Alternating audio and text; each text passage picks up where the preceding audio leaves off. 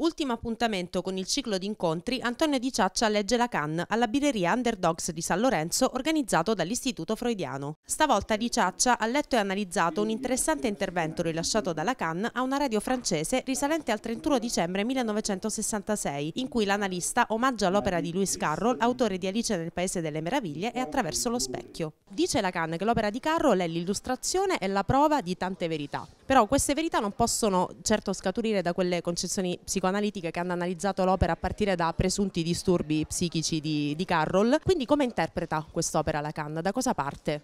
Beh, diciamo, Lacan lo centra su il, la triade reale immaginario e simbolico.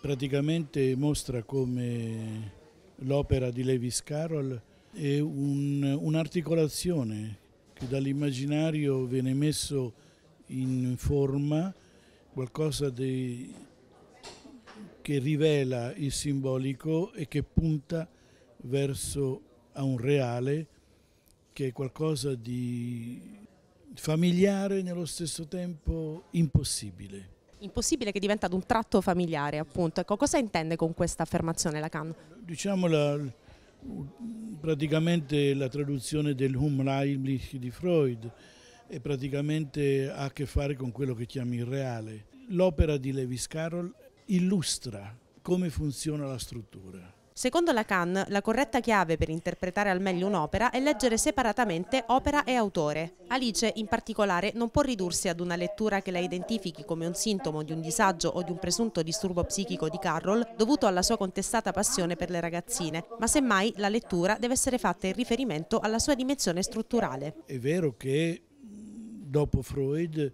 si è pensato che la psicanalisi applicata fosse una ripresa per esempio dell'opera di un autore e interpretare la vita dell'autore attraverso la sua opera.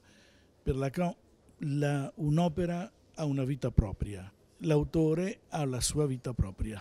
Ecco allora che nella dialettica dall'opera all'autore Lacan illustra anche il filo conduttore e rivelatore dell'autentica genialità dello scrittore, che non è riducibile solo ad alcuni tratti soggettivi di Carroll, ma abbraccia tutta la sua soggettività. Lacan indica che non è l'amore per le bambine che fa la grandezza di Lewis Carroll.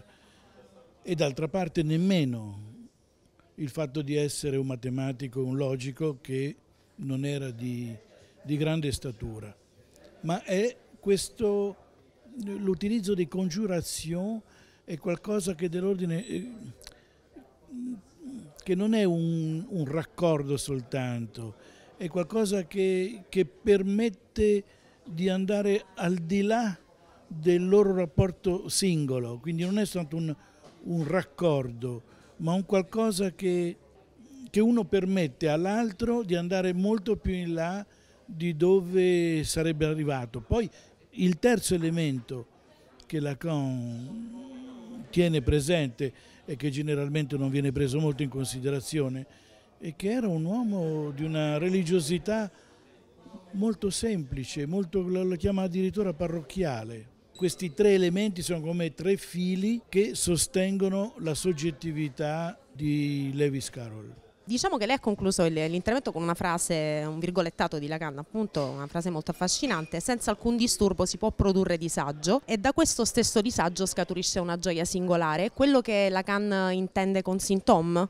Sì, il sintomo è un disturbo, però il lavoro che viene fatto anche attraverso l'arte, la vita, il processo che ogni essere umano mette in movimento, ebbene arriva a purificare il sintomo da quello che fa sofferenza e ricavarne quello che fa la preziosità di quella singola persona. La cosa è importantissima nella misura che è lì che la persona ci si ritrova, solo che anche gli altri ci si ritrovano. Si ritrovano, possono ritrovarsi, ritrovarvisi come degli elementi che portano gioia, come lui dice.